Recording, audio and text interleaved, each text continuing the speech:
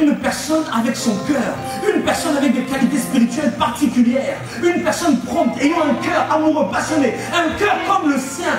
Parce que le premier serviteur, c'est Dieu. Le premier créateur, c'est Dieu. Il t'a créé. Il t'a servi. Il te sert tous les jours. Tous les jours, il est là à ton service, disponible. Tous les jours, il est prêt à te faire du bien. Tous les jours, il est là pour renouveler ton souffle de vie. Tous les jours, il envoie ses anges, l'armée de Gabriel, l'armée de Michael, te protéger, il t'annoncer les bonnes nouvelles. Tous les jours. Tous les jours. Il dit qu'il fait en sorte, il veille à ce que ton pied ne rentre pas une pierre. Tous les jours, Dieu est à ton service